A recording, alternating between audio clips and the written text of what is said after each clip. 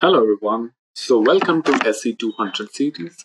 My name is Aaron. So I am your instructor for today's session. So as you are very well aware, we are going to be learning on SC200, which is Microsoft Security and Analyst Operations. So this is the complete course on what we are going to be learning. So on day-to-day basis, you guys are very well aware about how a cybersecurity SOC analyst faces a variety of challenges now, some of the challenges are going to be very, very upcoming. So, what are some of the challenges? One is alert fatigue. Okay, now this means like the SOC analyst deals with high volumes of security alerts daily, many of which are maybe false positive, sometimes prioritizing and accurately identifying genuine kinds of threats and some of the noise is very very complex challenges. So you just have to be very careful on fatigue alerts. Next one it will be threat hunting. Now if you are very well aware about threat hunting this is one of the proactively searching threats. So if i'm actually made, made any kind of automated detection systems then this requires a lot of networking traffic deep logs and data sources to be utilized over here. Next, third one is incident response.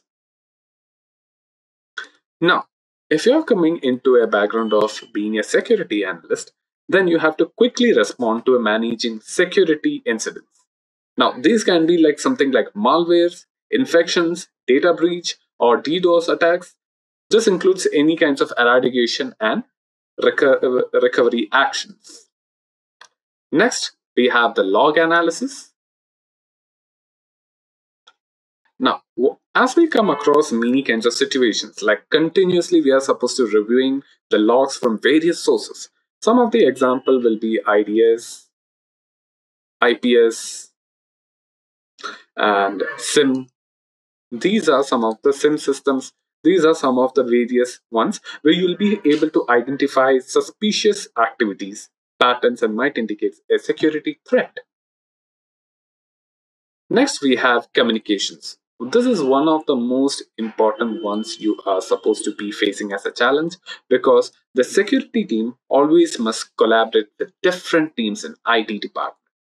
Now, this is where the challenge compliance and management. Ensure some of the coordination is to be responded with according to the incidents and this is a very very huge kind of security status for the security events. Next, being a knowledge in security is not only enough, but you have to know about the tool management services. Okay. Now, when I say about the word tool management here, ensuring the security tools and systems like SIEM, firewalls, and IDS, IPS, all the things are working properly configured, and you're supposed to making a functioning as expected. So any kinds of issues, you are supposed to make sure that tools are promptly working over here. Next, you have the threat intelligence.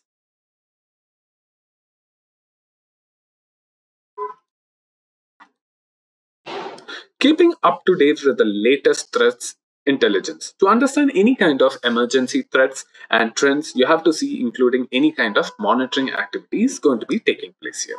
So any kind of information security strategies you have to be seeing. So always remember the threat intelligence is going to be always active and this is going to keep learning just like a machine learning in new kinds of threats which we are going to be having any kind of facing issues. It is going to keep learning and you should be aware on up to date. Next is routine maintenance.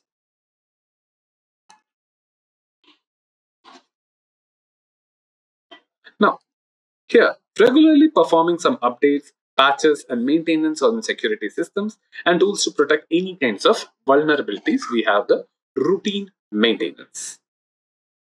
Next is documentation and reporting.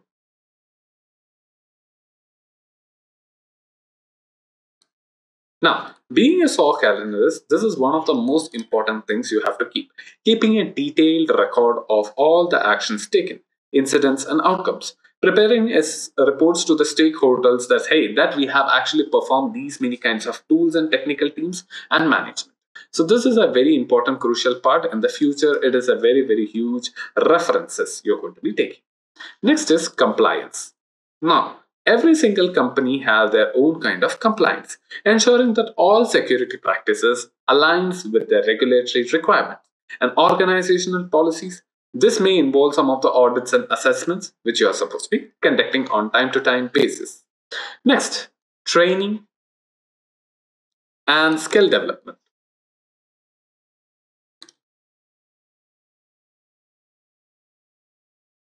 Now, continuously improving our skills and knowledge through training. This means it can be in the certification, staying informed about the latest security and development and technologies. These can be one of the most important things we can come across. Next is user support and education.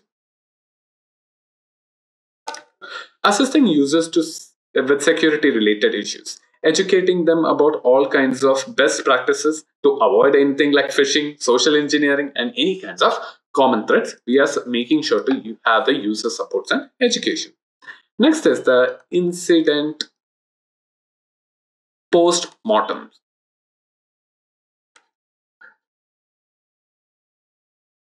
Now, conducting through thorough review of past incidents is very, very important in this kind of identify. What went wrong? What was done well? How, uh, how process can be improved in the future? These are the few three questions you are supposed to be asking. So just keep in mind what went wrong,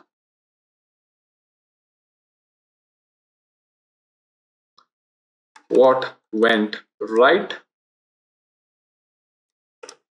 and how process, how to improve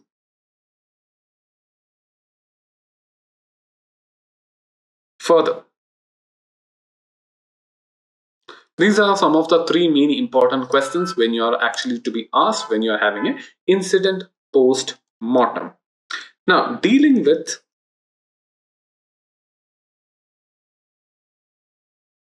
advanced,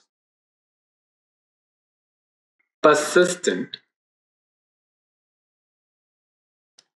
threats. In short form, we call it as APTS. Okay, so if you wanted to identify any kinds of mitigating long-term targeted attacks and to aim to steal data or causes disruption over an extended period of time, then you're going to be dealing with this APTS. Last but not least, we have managing stress and burnout.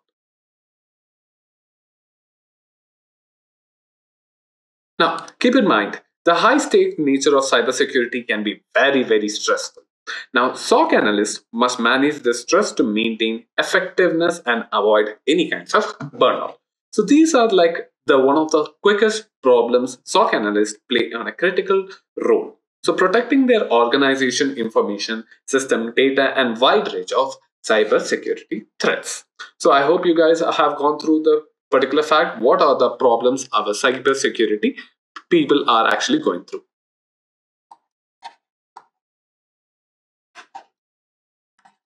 Now, dealing with these kinds of SOC analyst problems, we are making sure to have a very, very safe on what we can actually learn the further down the line. So this is a very, very things. Now, these are also the most important part where you are going to be learning what the cybersecurity team is actually going to be doing on the day-to-day activities. So these are the problems. Now, this is the same resolutions you're going to be seeing as what are the roles they're going to be playing. Now, the roles might be like this. Number one, you have the threat monitoring and detection. Now, continuously you are supposed to be monitoring any kinds of security systems, networks, logs, and signs of cyber threats, anomalies, or breaches. This is very, very important for the threat monitoring and detection. Next, incident response. Now, this is one of the crucial part for a SOC analyst he has to play. Responding to security, uh, security incidents by analyzing, assessing the situation, containing the threats, mitigating its complete impacts, and recovering from those incidents. So there are many uh, various responsibilities and incident response we are supposed to be playing within a SOC analyst as an incident response team. Next is analysis and investigation. Now, when we come to this analysis and investigation, the security alerts to determine whether their validity and severity. This involves a deep analysis of logs, network traffic, and other data sources. So you have to see in logs, network traffics, and other data sources to make sure all kinds of analysis and investigation has been completely thoroughly searched. Next is threat intelligence.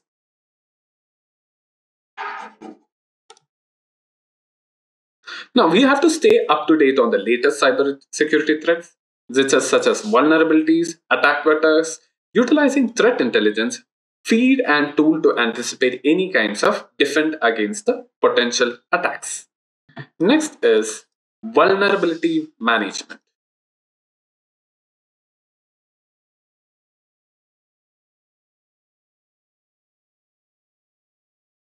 Now, assisting the identifying and prioritizing what kind of vulnerabilities in an organization systems you might face. Now, collaborate with other teams also. You have to make sure they are ensuring in on time to time patching and mitigations are being done for the vulnerability management. Next is security tool management. Now, as we have already discussed with the previous tips, you have to configure and maintain security tools such as SIEM tool, information and event management systems, firewalls, intrusion detection prevention systems, IDS, IPS, and endpoint protection solutions. All these comes under the security tool management. So you have to keep yourself up to date on the security tool management and in the future down the line you might come across various other situations in the security. Now, this is also a part of our responsibilities, uh, that is the reporting and documentation. Again, as we have previously discussed, the certain detailed reports of incident reports, including analysis, action taken, and remediation recommendation for the future prevention, all should be maintained and accurate documentation for all the incidents in incident response. So this way you are actually going to make sure this is going to be avoided in the future. Next is collaboration and communication. Now, being a SOC analyst, one of the most difficult part is to communicate. The communication is one of the most crucialest things. We are to work closely with IT field members as well as external partners. So if you are having any kind of a client, mostly the security strategy and uh, incident response plan has to be well communicated in advance. Ninth is continuous improvement.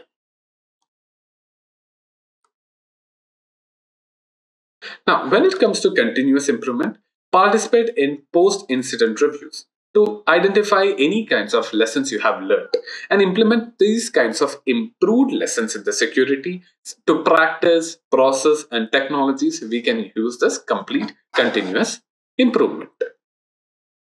Next is compliance and policy others. Adherence. Okay. Now, if you want to ensure that all the security activities comply with relevant law, regulations, and organization policies, assist in the development of security policies, make sure all the things have been uh, well procedures, and this can be actually helping you for the long term. So, as we have seen in the first part, what are the SOC analyst problems? And those are also their roles and responsibilities. Now, as you are knowing the roles and responsibility and how much the problems are going to be faced by the SOC analysts, what we are going to be doing is we are going to be learning on the course right now on SC200, which is going to help you in understanding the various aspect on how this can be completely taken care. Now, Microsoft Certified Security Operation Analyst Associate, that is SC200, is going to help you in investigate, investigate, search for mitigate threats. Okay, now how you're going to be utilizing? You're going to be utilizing in many ways. One of them is Microsoft Sentinel. And you will be also using Microsoft Defender for cloud.